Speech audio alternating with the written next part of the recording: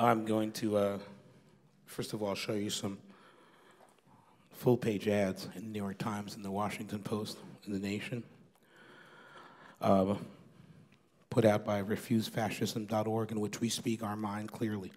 And I'm just going to make some brief opening remarks and then we'll start. Um, I'm not going to get into specifics, but tomorrow, a very bad man will take the nation's highest office. His biographer called him a sociopath. His behavior towards women is lamentable. His racism is legendary. He has lied repeatedly. He has questionable ethics, and the conflict of interest between his ill gotten office and his business dealings is shady at best and criminal at worst. By his own admission, he reads not and has never held public office. In press conferences and debates, he has shown a limited vocabulary and a mean spirit, threatening to prosecute his opponent if victorious in the best fashion of dictators and fascists. He treats the press with disdain and has no regard for the need to communicate policy.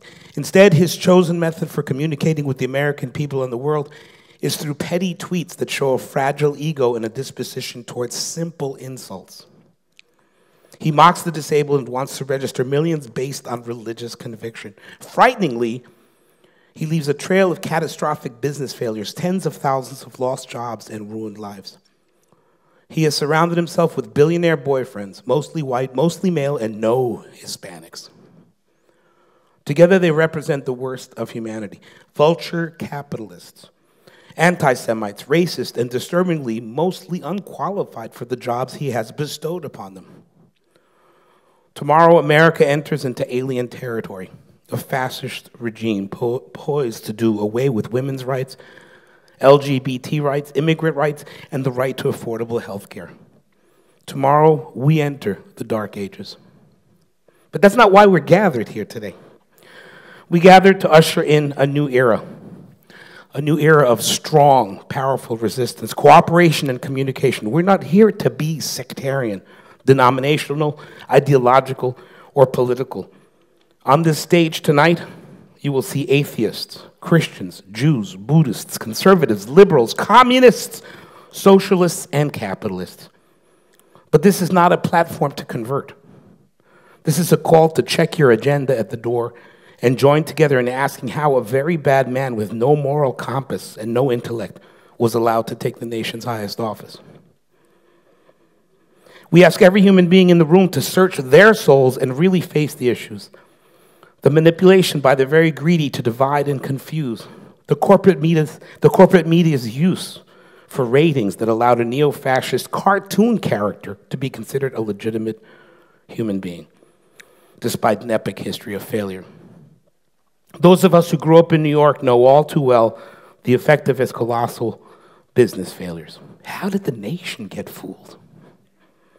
We gather to put aside all that divides us and ask our art and our artists to help us find a reason that this happened, and most of all, to help us find a way back to a time when our lives and worldwide reputation weren't defied by fear and failure.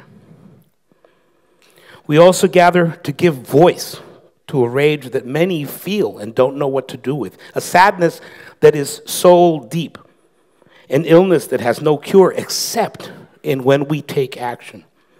And act we must. We must organize, demonstrate, be disobedient to our deluded, self entitled masters. They, ha- they feel that they've won by installing a silly puppet to satisfy their need for engorgement. What, what they've done is emboldened some of us to take the battle beyond the obvious. And instead of being angry and hateful towards each other, we're going to work intelligently past our dogmas to agree that we can no longer accept this system. We can no longer sit in silence and live in our comfortable dogma prisons. We will demand light from ourselves as we join to call this day into accountability. We have an enemy and he or she is not black, white, gay, straight, liberal, conservative. Nor are they American or Syrian or Mexican or Russian. They're not communist, socialist, or capitalist. Our enemy is our indifference to the suffering on this planet.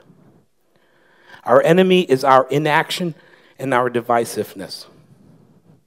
Our enemy is the distraction of the smartphone, the tablet, the computer, and our aversion to look one another in the eyes and converse about the true nature of suffering perpetrated by the powerful and the greedy.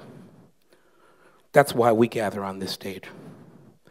At the end of the concert, we're going to ask all of us to connect, share contact info, and to organize a new group of citizens under the name of One People, onepeoples.org, for whom revolution is not a partisan or political word, but a tenet for our very survival.